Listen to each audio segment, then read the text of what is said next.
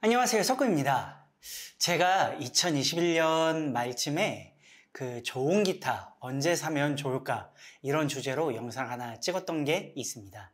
그 영상을 요약해서 한번 알려드리자면 만일 본인이 선택한 그 기타가 정말 평생 쓸만한 기타 그리고 정말 꼭 갖고 싶었던 좋은 기타라면 빨리 살수록 좋다고 이야기를 해드렸었는데요 그때 당시 예측했던 것과 지금 상황을 한번 비교해 보면서 다시 한번 이렇게 영상을 찍게 되었습니다. 그때 제가 이제 코로나로 인한 여러 가지 문제들 그리고 인플레이션 등을 이야기하면서 기타 가격이 계속 오를 전망이라고 이야기를 했었는데요. 사실 어떻게 보면 빗나갔으면 더 좋았을 만한 그런 이야기였겠지만 어, 그때 예상했던 대로 기타 가격은 생각보다 많이 인상된 것이 사실입니다. 그래서 실제로 저희 매장에 와서 그때 당시 기타를 구매하지 않으신 걸 후회하시는 분들도 생각보다 많이 계셨습니다. 그렇다면 지금 상황에서는 어떨까요? 안타깝지만 지금 상황에서도 사실 기타의 가격은 더 떨어질 거라고 보기는 어렵습니다. 오히려 가격이 인상되지 않으면 천만 다행이라고 생각할 수 있을 만한 그러한 상황이라고 보여집니다. 실제로 제가 이 통기타 이야기에서 일을 한 게 2008년부터 시작했는데 지금까지 이 일을 하면서 기타의 가격이 떨어진 건 한두 번 정도 빼고는 없었다고 볼 수 있습니다. 그 외의 모든 상황 속에서 기타의 가격은 인상되었죠. 지금도 이렇게 예상할 수밖에 없는 제일 큰 이유 중에 하나는 우리가 기타에 사용하는 목재들은 갈수록 소진된다는 데 있습니다.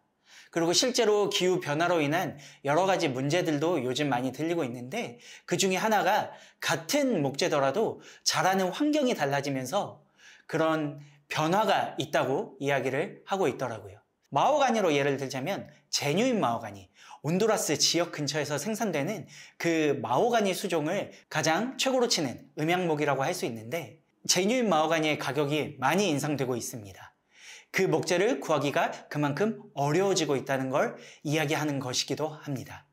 하지만 다른 마호가니를 썼다는 기타들은 인상되지 않은 경우도 분명히 있어요. 근데 여기서 우리가 지켜봐야 될 것은 제뉴인 마호가니가 맞는지를 한번 체크해 봐야 되고요. 또 이름은 마호가니지만 사실상 마호가니 수종과 다른 목재를 사용하는 경우도 있거든요.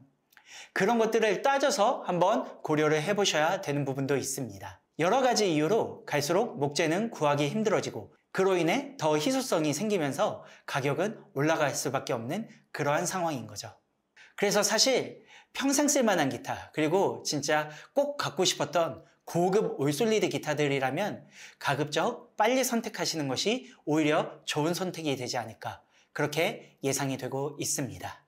차라리 저도 이번에 찍었던 이 영상에 그 예상이 틀리면 오히려 좋겠다라는 생각도 분명히 들고 있습니다. 어쨌든 소비자 입장에서는 똑같은 상품이라면 저렴한 게 더 좋기 때문이겠죠. 저 역시 마찬가지라고 볼 수 있으니까요. 하지만 그렇게 예상하기 어려운 상황 속에서 정말 갖고 싶었던 기타가 있으시다면 더 늦기 전에 그 기타를 선택하시는 게 좋은 선택이 되지 않을까 생각이 듭니다.